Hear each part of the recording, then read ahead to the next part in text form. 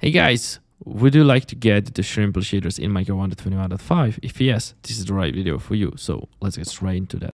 Okay, so the first step for you is to go to the video description and there's a download link for the Shrimple shaders for Minecraft 1.21.5, so click on those two links. It'll take you to this website, so now just go to the download links and hit on download Shrimple shaders and then click on the second link and it'll take you to how to install iris shaders for minecraft 1.21.5 so again go to the download and Iris shaders and click uh, on the text click here and then take both files and drop it on the desktop just like i did now we can just go to the windows search bar type in percent app data percent hit enter this will open up the roaming folder for us and now go to the .minecraft go to the shader packs so here it is. Take the Shrimple shaders and drop it in here into the shader packs folder. Now go back, go to the versions and double click on Iris installer. Select the game version, which is 1.21.5 and hit install. And just wait a bit. Okay, why it's not working. Oh, okay, it's working now. And wait a bit, and as you can see, it's completed.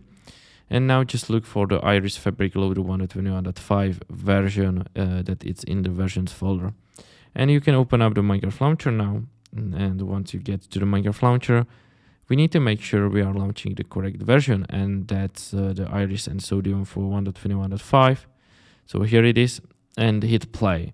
Then just wait until it downloads everything and then we will be in our Minecraft menu and we have to make sure we activate the shader pack so it works just fine.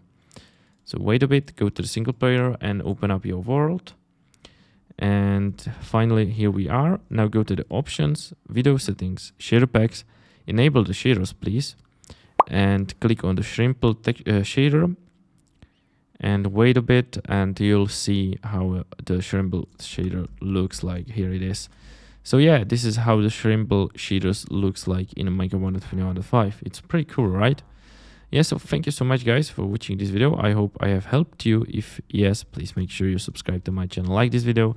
And if you got any other issues just let me know down in the comments and i'll help you out. Thank you so much and see you soon